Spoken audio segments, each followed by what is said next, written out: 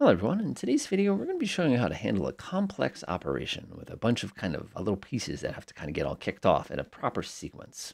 So what we have here is uh, basically a pretty little scenario. We have a little Air Force base with a bunch of helicopters and airplanes in it. And we're going to be doing some close air support as well as some combat air patrols.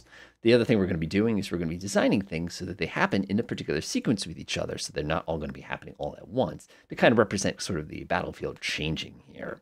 So to get this started, I'm going to head over here and create my first support track. Uh, this is going to be basically for my air fueling units. This is going to be for my J-Star units as well. So I'll come into support. I'm going to make this a disabled mission. Press okie doke.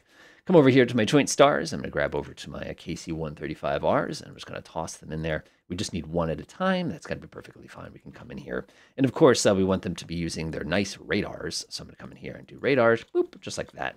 So that way they're using the E8's radar, which is a really sophisticated piece of equipment.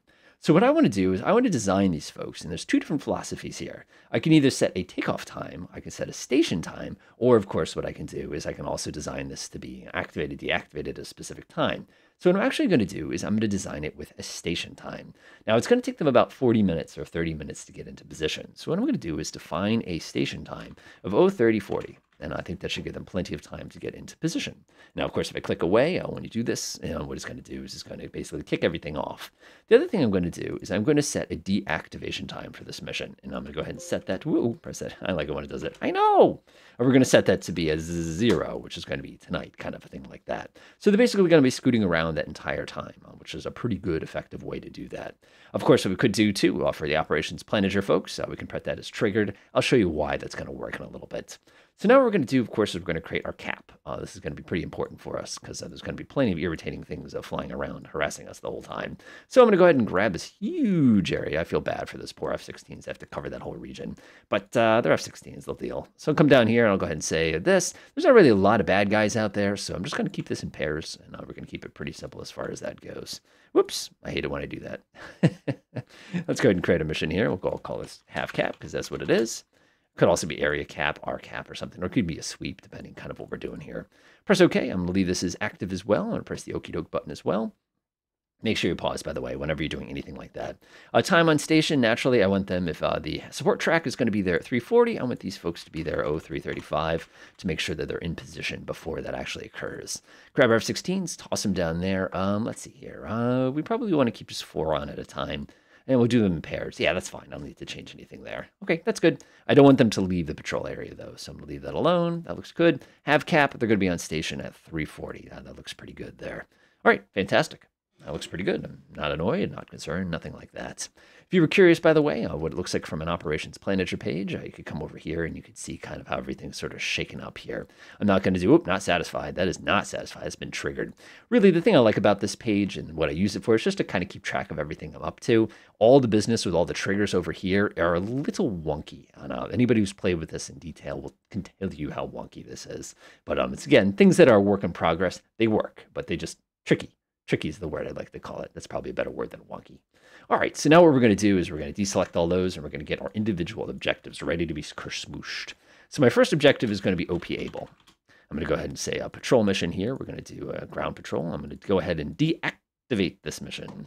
And the reason I'm deactivating this is because I don't want to trigger the mission until everybody's basically gotten in place.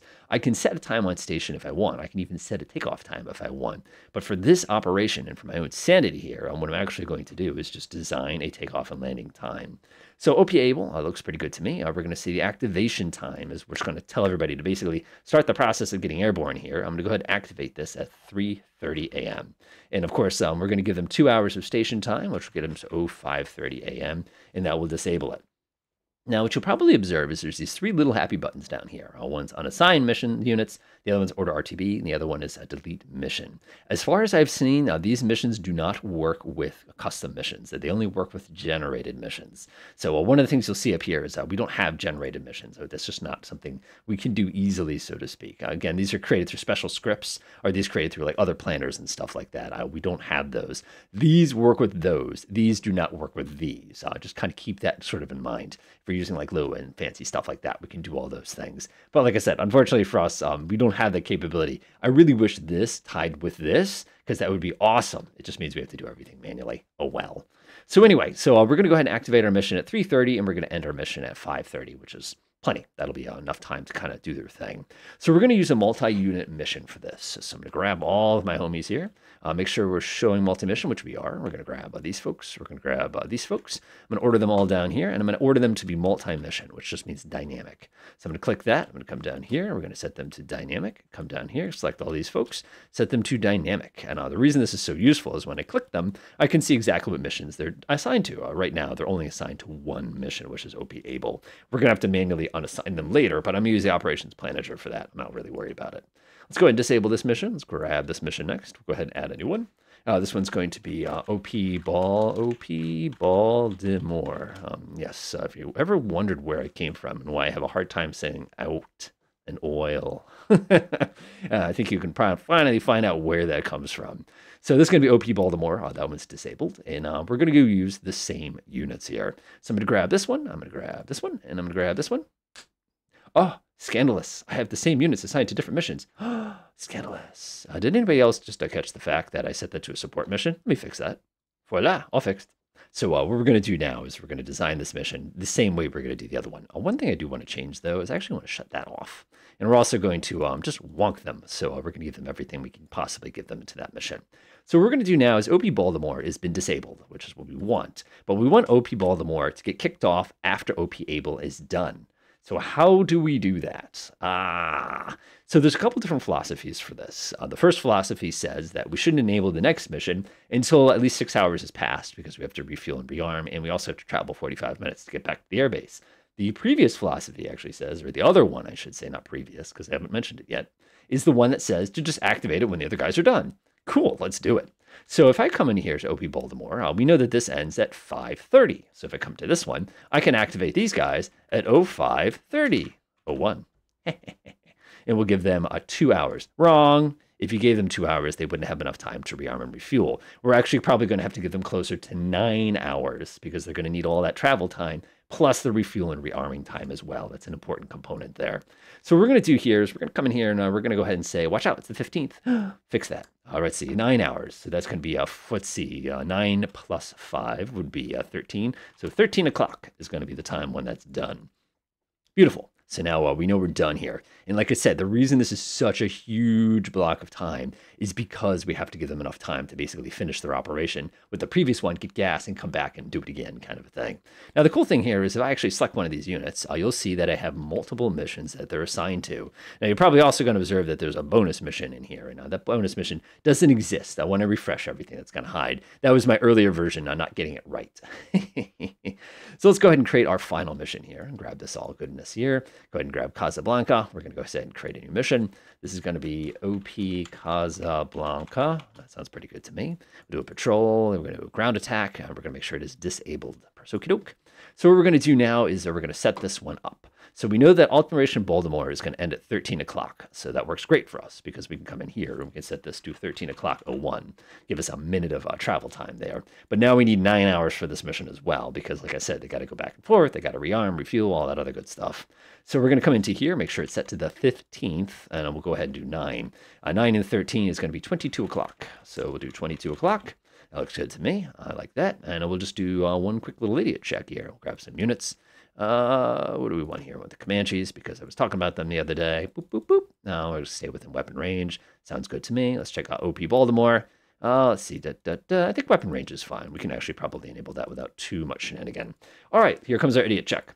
OP Able, uh, it's going to start at 3.30. It's going to end at 5.30. OP uh, Baltimore is going to start at 5.30.01, end at 13 o'clock.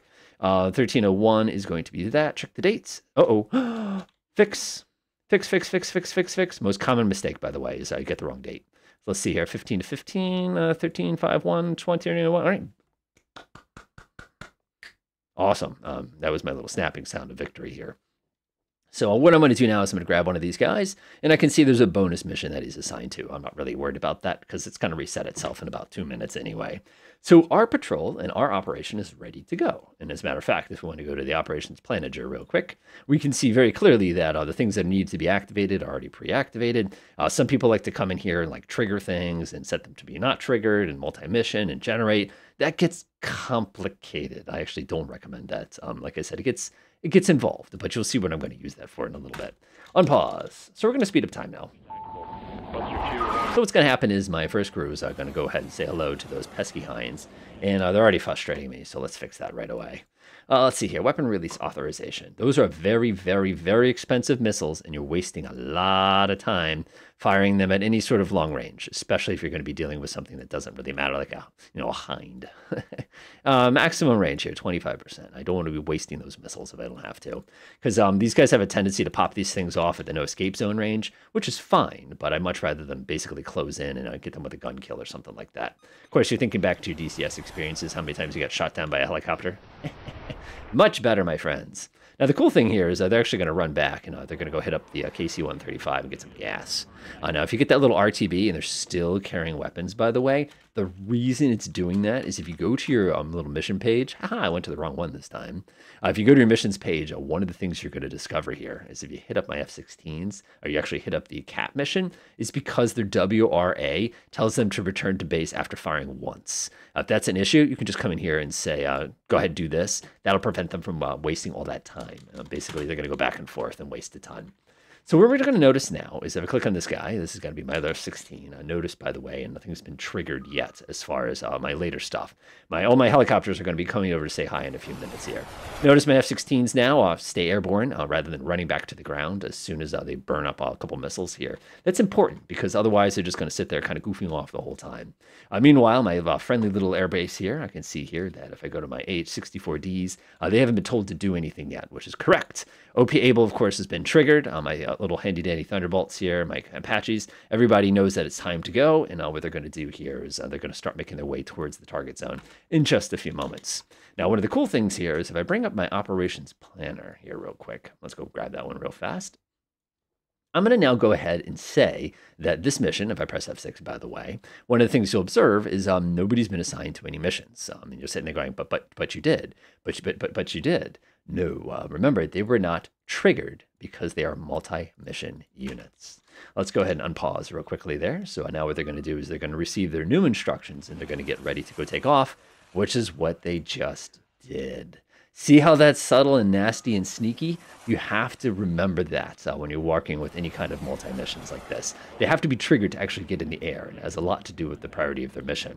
Uh, one of the cool things you can do that works really, really well, by the way, when you're working with the operations manager here, is you can actually change the priority to kind of solve that problem. So I can actually set this one to be uh, 2, 1, and then set this to be 0 priority. So that means that when this one runs out of time, or I order this one satisfied and trigger this one, this one will take the new priority for our particular mission.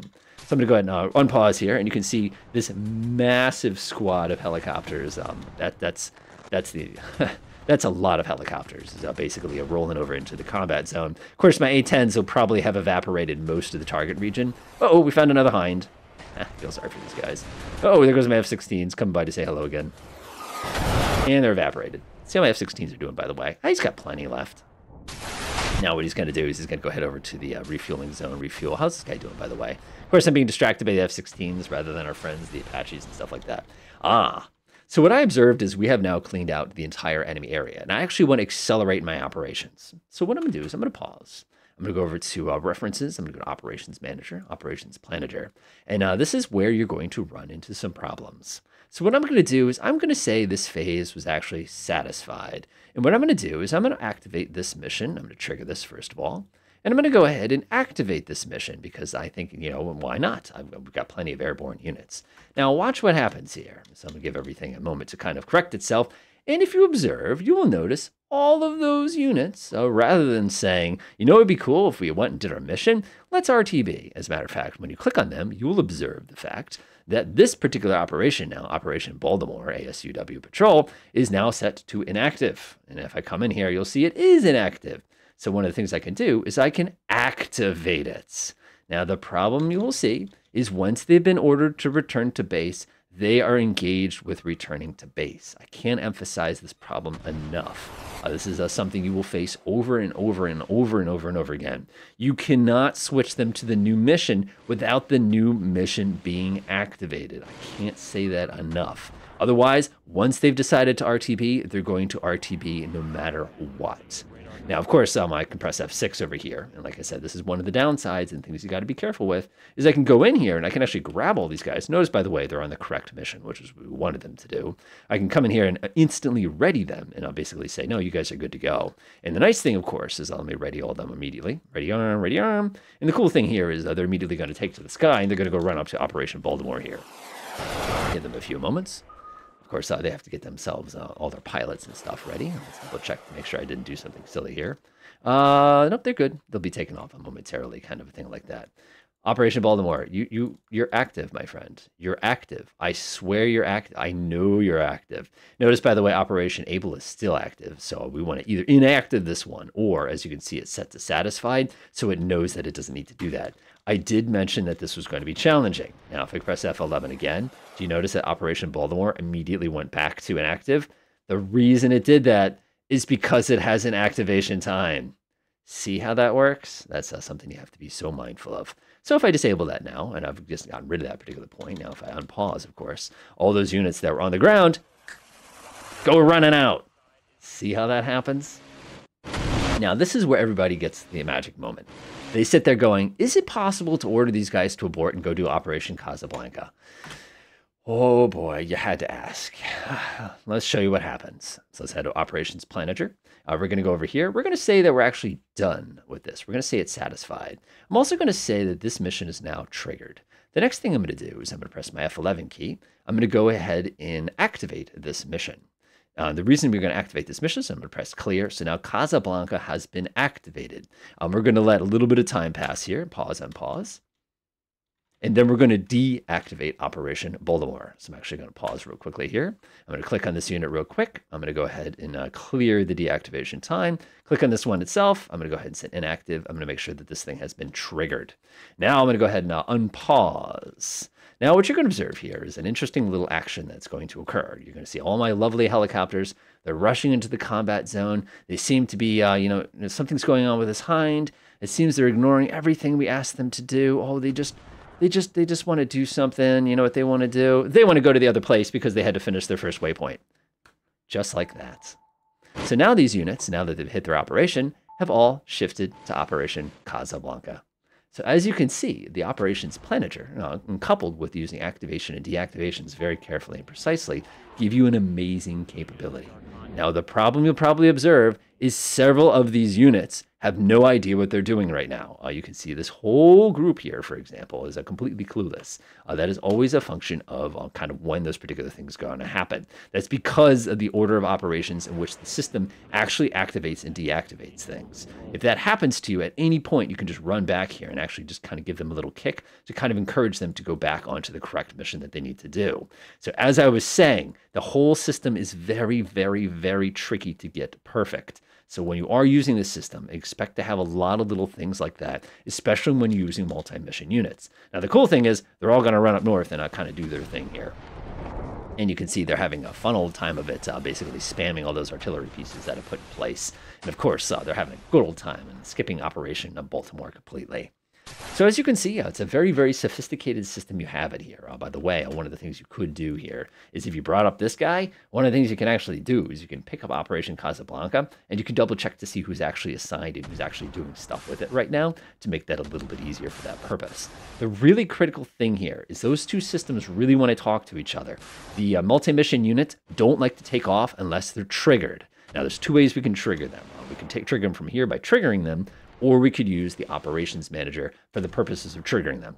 Second thing, this is really important. If two missions have the same priority and they're both active and they're both triggered, the first mission activated will be the one that receives all the units. If you don't fix that by tweaking the priority, for example, it's always going to give you issues with that. And as you can see from our several examples, this is a rather picky tool. You really have to take your time and really think it through, which is why, like I said, the operations manager is really there to kind of help you keep an eye on things more than it's going to be there for the purposes of handling things. But it doesn't mean we didn't have a successful operation, and it doesn't mean we weren't able to kick everything off. Enjoy.